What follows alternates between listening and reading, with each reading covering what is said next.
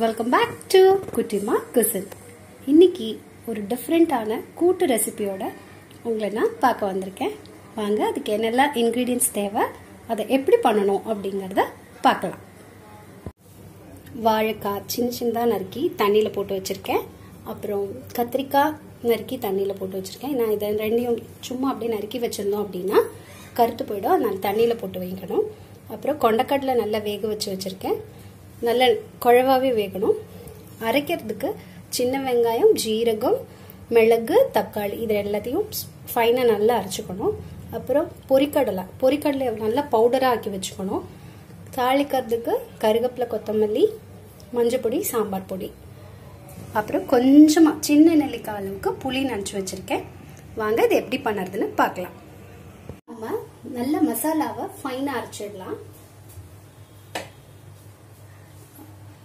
மிளகு சின்ன வெங்காயம். நான் கொஞ்சமாக போட்டிருக்கறதுனால எல்லா காயுமே கொஞ்சம் கொஞ்சம் போட்டிருக்கிறதுனால இவ்வளோ சின்ன வெங்காயம் போட்டிருக்கேன். உங்களுக்கு ஜாஸ்தியாக வேணும்னா காய்கள் ஜாஸ்தியாச்சு அப்படின்னா சின்ன வெங்காயத்தோட அளவை கொஞ்சம் இன்க்ரீஸ் பண்ணிக்கலாம். மிளகானா இந்த அளவு போதும். ஏன்னா நம்ம சாம்பார் பொடி வேற சேர்க்கறதுனால காரம் ரொம்ப ஜாஸ்தியாயிடும். ஜீரகம். ஜீரகம் நீங்க நல்லாவே சேர்க்கலாம். ஜீரகம் ரொம்ப உடம்புக்கு நல்லது. ரத்தத்துல இருக்கிற கொழுப்பை வந்து கரைக்கும் அப்படின்னு சொல்லுவாங்க. தக்காளி. தக்காளியும் சேர்த்துடலாம்.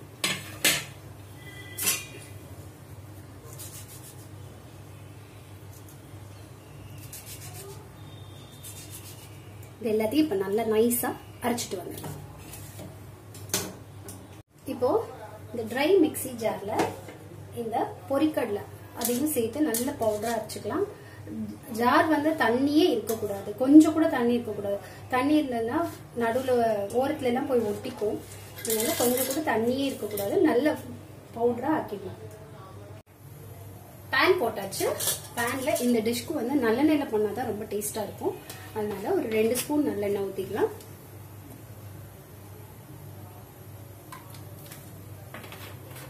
எண்ணெய் நல்லா காஞ்சதுக்கு அப்புறம் கடுகு இதெல்லாம் போட்டு தாளிக்கலாம். இந்த கூட்டு வந்து எதுக்கு ரொம்ப நல்லா இருக்கும் அப்படின்னா எலுமிச்சம்பழ சாதம் தயிர் சாதம் புளியோதரை இதெல்லாம் நம்ம இங்க ஊருக்கு போகும்போது செஞ்சு செய்வோம். கண்டிப்பா இதுதான் செய்வோம்.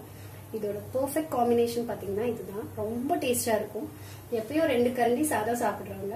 இந்த கூட்டு இந்த சாதமும் எடுத்துட்டு போனீங்கன்னா கூட ரெண்டு கரண்டி கேட்டு வாங்கி சாப்பிடுவாங்க. ட்ரை பண்ணி பாருங்க. உங்களோட கமெண்ட்ஸை எங்க கூட ஷேர் பண்ணிக்கோங்க. எண்ணெய் நல்லா காஞ்சிடுச்சு. காஞ்சதுக்கு அப்புறம் கடுகு சேர்க்கிறேன். கடுகு நல்லா வெடிக்கட்டும்.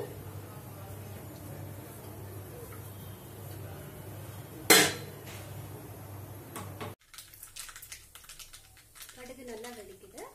கடுகு வெடிச்ச உடனே நம்மளோட கருவேப்பிலையை சேர்க்கணும் கருவேப்பிலை நல்லா பொரிஞ்சதுக்கு அப்புறம் எடுத்து வச்சிருக்கிறேன் வாழைக்காயை ஃபஸ்ட்டு சேர்க்கணும். ஏன்னா வாழைக்காய் வந்து வேகிறதுக்கு லேட் ஆகும். ஃபஸ்ட்டு வாழைக்காய் சேர்க்கணும். வாழைக்காய் சேர்த்துட்டு ஒரு ரெண்டு நிமிஷம் நல்லா ஃப்ரை பண்ணலாம். வாழைக்காய் சேர்த்து ஒரு ரெண்டு நிமிஷம் நல்லாவே வதக்கியாச்சு. இப்போ நறுக்கி வச்சிருந்த கத்திரிக்காய். ஃபஸ்ட்டு கத்திரிக்காய் போட வேண்டாம் வாழைக்காய் தான் போடணும். ஏன்னா வாழைக்காய் கொஞ்சம் வேகிறதுக்கு லேட் ஆகும். கத்திரிக்காய் ஈஸியாக வெந்துடும். இந்த ஸ்டேஜில் நல்லா தண்ணியெல்லாம் ஒட்ட வடிச்சிட்டு கத்திரிக்காய் போட்டு நல்லா வதக்கலாம்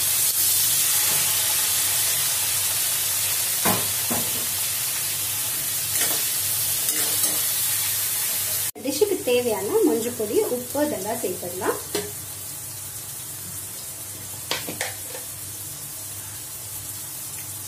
இது கால் ஸ்பூன் மஞ்சள் பொடி.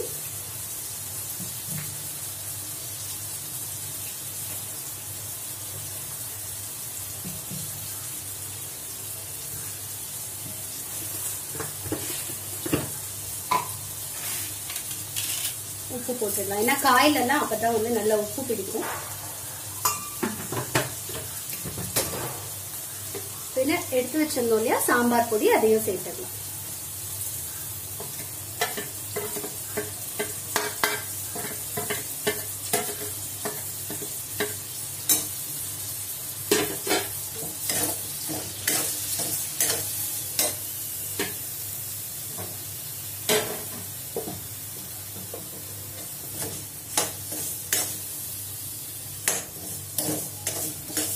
ஒரு ரெண்டு நிமிஷம் நல்லா வதங்கிட்டோம்.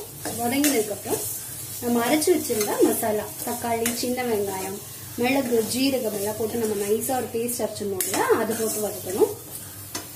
ஒரு ரெண்டு நிமிஷம் நல்லா பவு சாம்பார் பொடி பச்சை வாசனை போட்டுட்டோம் இப்போ இந்த நம்ம அரைச்சி வச்சிருந்தோம் இல்லையா மசாலா அதையும் சேர்த்துடலாம்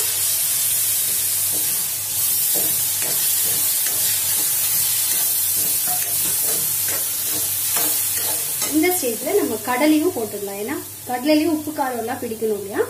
ஸோ கடலையும் போட்டுடலாம். இது எல்லாத்தையும் ஒரு ரெண்டு நிமிஷம் நல்லா வதக்கணும். ஏன்னா தக்காளியெல்லாம் நம்ம பச்சையாக தானே போட்டிருக்கோம். இப்போ பச்சை வாசனை எல்லாம் போகணும். ஸோ இதையும் ஒரு ரெண்டு மூணு நிமிஷம் நல்லா வதக்கணும். எண்ணெய் ஜாஸ்தி மாதிரி இருக்கும். ஆனால் இந்த காய் இதெல்லாம் சீக்கிரிச்சு சரியாயிடும்.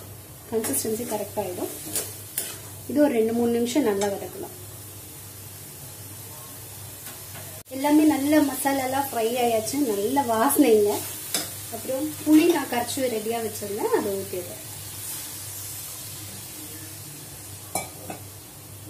இது கொஞ்சம் தண்ணியாகவே வச்சுக்கோங்க. ஏன்னா நம்ம லாஸ்ட்டில் பொரிக்கடல போடுவோங்க ஸோ அதுதான் இதோட திக்னிங் ஏஜ் எனக்கு இன்னும் கொஞ்சம் கூட தண்ணி தேவைப்படுது. ஸோ நான் தண்ணி கொஞ்சம் சேர்த்துக்கிறேன் புளி ரொம்ப ஜாஸ்தி ஆயிட வேண்டாம். ஏன்னா நம்ம ஆல்ரெடி தக்காளி வேற போட்டிருக்கிறதுனால புளி ரொம்ப ரொம்ப கம்மியா எடுத்துருந்தா போதும். இந்த கன்சிஸ்டன்சில இருக்கட்டும் பார்க்க தண்ணியா இருக்கும் பட் அந்த பொறிக்கடல பொடி போட்டோனையும் எல்லாம் கரெக்ட் ஆயிடும். ஒரு இது ஒரு அஞ்சு நிமிஷம் நல்லா கொதிக்கட்டும்.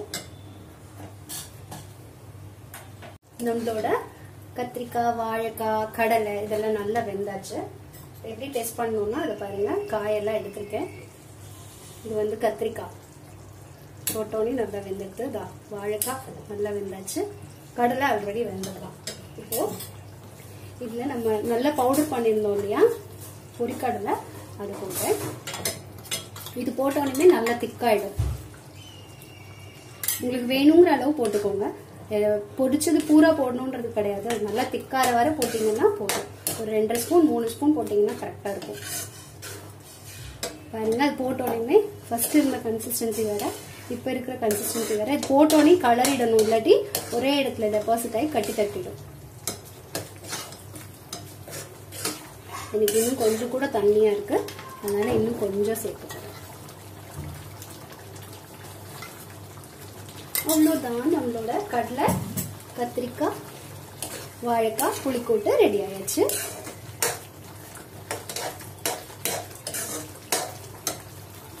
நிறைய கொத்தமல்லியும் போட்டுடுறேன்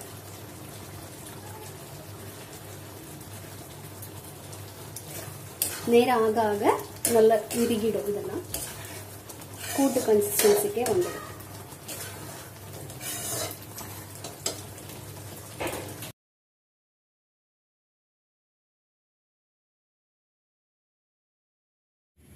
இதோ நம்மளோட கத்திரிக்காய் வாழைக்காய் கடலை எல்லாம் போட்ட புளிக்கூட்டு அழகாக ரெடி ஆயாச்சு.